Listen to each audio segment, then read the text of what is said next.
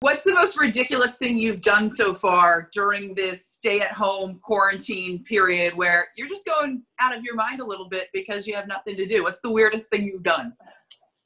Weirdest thing I've done. Um, I'll say so. I, I don't think it's really weird in times like this. I mean, um, for my, my brother and I, we were like, we need a show to watch. And it's like one of those things. It's like, what, what do we want? Like we, we love reality TV um, but there's like no reality TV on right now.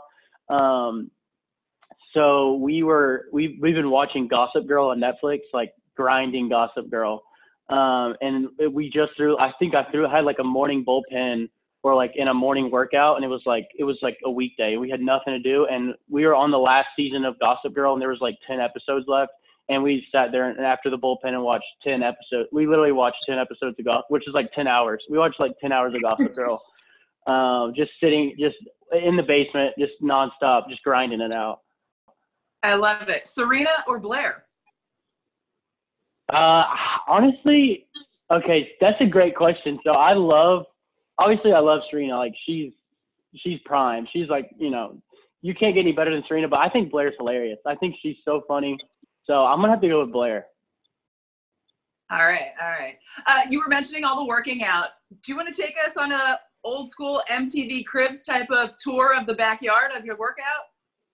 Yeah, cool? I, my mom, my mom might kill me, but I, I think I can, I think I can, uh, I might be able to sneak y'all in a little preview. So yeah, a lot of the stuff we do is like we'll do like a lot of squats, stuff like this, a lot of med ball work, a lot of core work, and then we have um, we got a Pilates machine, and um, this is like really where like all we do a bunch of cardio out here. We'll do a bunch of like lunges, squats, um, and then out here uh, over here is where we have the mounds.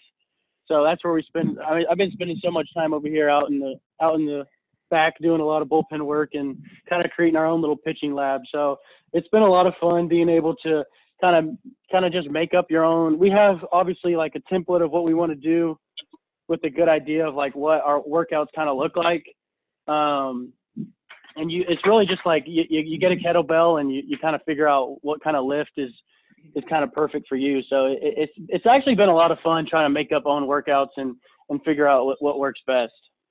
Now, who built the mound?